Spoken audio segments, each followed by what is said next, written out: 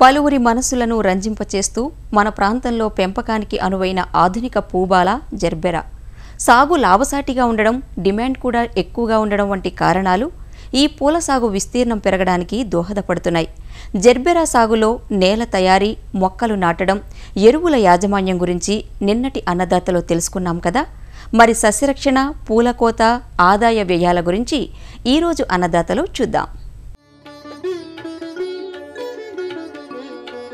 పాలీహౌస్లలో పెంచే జెర్బెరాలకు చీడపీడల సమస్య తక్కువగానే ఉంటుంది. అప్పుడప్పుడు ఆకుమచ్చ ఎర్రనల్లి రసం పీల్చే పురుగుల తాకిడి కనిపిస్తుంది. ఆకుమచ్చ నివారణకు బెనోమిల్ రెండు గ్రాములు లీటరు నీటికి కలిపి పిచికారీ చేయాలి.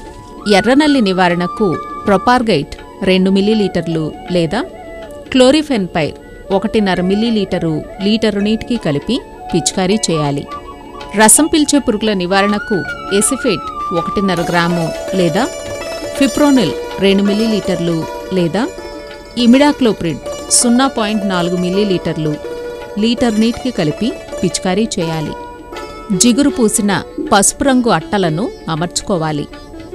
మొక్కలు నాటిన ముప్పై రోజులకు పిలకలు బాగా వృద్ధి చెందిన తరువాత మాత్రమే మొక్కలను పూలకు వదలాలి లేదా పదిహేను నుంచి ఇరవై ఆకులు వచ్చిన తర్వాత పూ మొగ్గల్ని పెరగనివ్వాలి. అదే ఆకులు తక్కువగా ఉన్న చోట్ల పూ మొగ్గల్ని త్రుంచివేయాలి. ఇలాంటి యాజమాన్యం చేస్తే సంవత్సరం పొడవునా పూలు వస్తాయి. ఉదయం వేళల్లో గాని సాయంత్రం గాని పూల కోతలు చేపట్టాలి. పువ్వు మధ్య భాగంలో ఉన్న పూరెక్కలు విచ్చుకున్న తరువాతే వాటి కోతలు జరపాలి. పూలను కాడతో సహా పట్టుకుని ఒక ప్రక్కకు వంచితే కాడలు విరిగిపోతాయి. కాడతో ఉన్న ఆ పూలను వెంటనే నీరు ఉన్న బకెట్లలో ఉంచుకోవాలి. లేకపోతే పూలు త్వరగా ఎండిపోతాయి. కోసిన పూలకు నాలుగు సెంటీమీటర్ల పొడవు వెడల్పు ఉన్న ప్లాస్టిక్ స్లీవ్లను తొడగాలి. పది పూలను ఒక్కో కట్టగా కట్టుకోవాలి. సాధారణంగా ఒకే రంగు లేదా ఒకే రకానికి చెందిన పూలను ఒక కట్టగా కట్టుకుంటారు. వీటిని మార్కెట్కు పంపేంత వరకు నీరు ఉన్న బకెట్లలోనే ఉంచడం మేలు. మొక్కలు నాటిన మూడు నెలల నుంచి దిగుబడి మొదలవుతుంది. ఐదు వందల చదరపు మీటర్ల పాలీహౌస్ నుంచి రోజుకు రెండు వందల యాభై నుంచి మూడు వందల పూలను తీసుకోవచ్చు. అంటే సంవత్సరానికి సుమారుగా తొంభై వేల నుంచి తొంభై ఐదు వేల పూలను దిగుబడిగా పొందవచ్చు. ఒక్కో పువ్వు సగటున ఐదు రూపాయల చొప్పున అమ్మకం చేస్తే సంవత్సరానికి ఆదాయం మూడు లక్షల అరవై ఏడున్నర వేలు ఉంటుంది. ఏడాదిలో ఆరు నెలల పాటు ఈ పూలకు మంచి మార్కెట్ ఉంటుంది. ఆ సమయంలో అధిక ధర దక్కుతుంది.